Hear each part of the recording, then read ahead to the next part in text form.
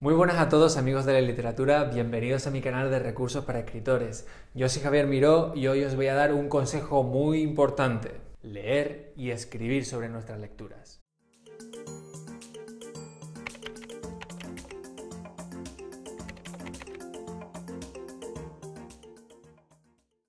Hace tiempo ya que no lo digo, ¿no? Eso de la idea esa loca de suscribiros. Pues sí, sigue estando vigente. Hay que suscribirse al canal. Os guste o no, tenéis que hacerlo. Es muy importante. Lo necesitáis. Muy bien, vosotros sois escritores. Un consejo que os habrán dado muchísimas veces y seguro que estáis aburridos de escucharlo. Tenéis que leer, tenéis que leer mucho, muchísimo, tenéis que hacerlo. Y sí, es verdad, así es como aprende un escritor. Bueno, se pueden hacer cursos, claro que sí, son muy recomendables, pero leyendo es realmente como uno aprende. ¿Es la mejor forma de aprender? Sí, pero no es la más rápida. Leer libros lleva tiempo y además un tiempo de calidad, un tiempo en el que necesitas estar tranquilo, reposado y dejándote llevar. No puedes leer mientras conduces, no puedes leer mientras trabajas, bueno, en algunos casos sí. Necesitas un tiempo de calidad para leer. Sí, es difícil, lo sé, pero aún así tenemos que ir a por ello, tenemos que leer como condenados. Decía Jorge Luis Borges que un buen escritor es mil veces un buen lector. Yo esto lo tomo de la siguiente manera. Yo hago las cuentas y digo, bueno, pues si quiero escribir un buen libro,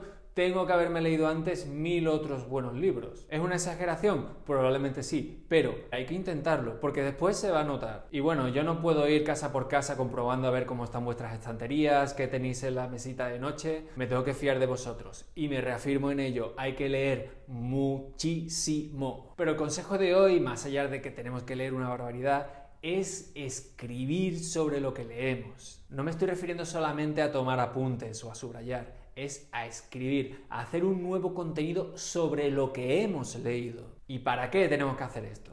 Pues bueno, para obligarnos a tomarnos en serio lo que estamos leyendo, para fijarnos en los detalles técnicos del libro, para ver cómo el autor ha conseguido decir lo que pretendía. Por ejemplo, podemos fijarnos qué tipo de narrador tiene, si está utilizando presente o pasado, si es un estilo directo, cómo son los diálogos, cómo los lleva, qué tipo de información deja atrás, qué nos está mostrando, qué no nos está mostrando, qué figuras retóricas está utilizando, de qué está abusando tal vez qué le falta, qué es lo que hace que los personajes nos gusten, qué es lo que hace que los odiemos. La lista es infinita, hay un sinfín de cosas que saber sobre una lectura y cuanto mejor sea, más detalles va a tener. Y si escribimos sobre nuestras lecturas, vamos a conseguir retener más sobre ellas, lo vamos a tener más fresco. Y eso es algo que nos interesa. Recordad que todo lo que vayamos aprendiendo después lo podemos aplicar en nuestros propios libros. Hoy en día lo tenemos facilísimo para escribir sobre nuestros libros.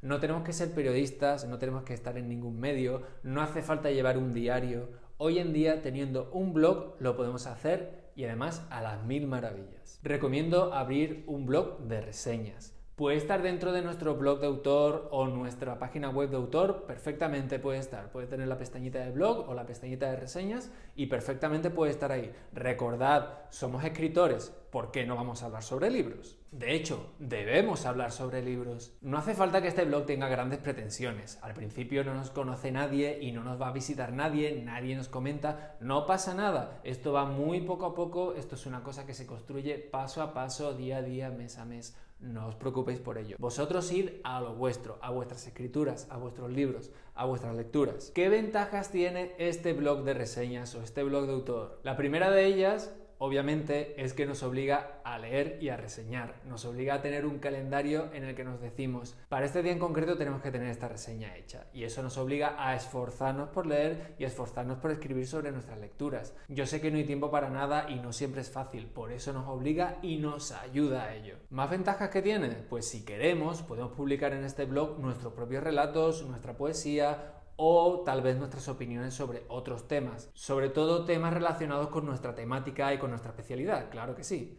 Pero también podemos utilizarlo como tribuna o como columna de opinión. Eso sí, no os paséis con las opiniones.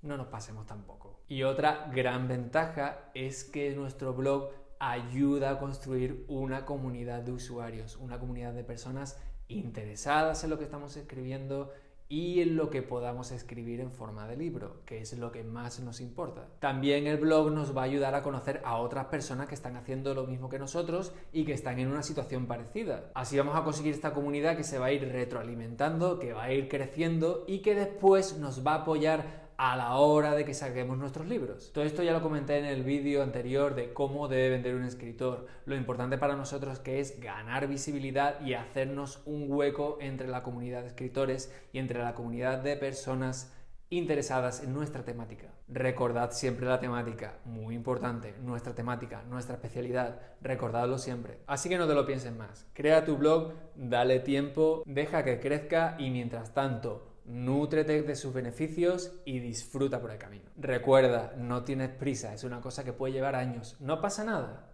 no pasa nada. Tenemos tiempo de sobra. Vamos a empezar por el principio y vamos a empezar desde ya. Y así dentro de unos años podremos recoger los frutos de esta actividad. Y eso ha sido todo por hoy, mis queridos amigos. Dejadme vuestros comentarios, decidme qué os ha parecido, dejadme los enlaces de vuestros blogs y así me paso a verlos. Y por supuesto, dejadme vuestros likes ahí que tengo un saco. Y nos vemos en el siguiente vídeo.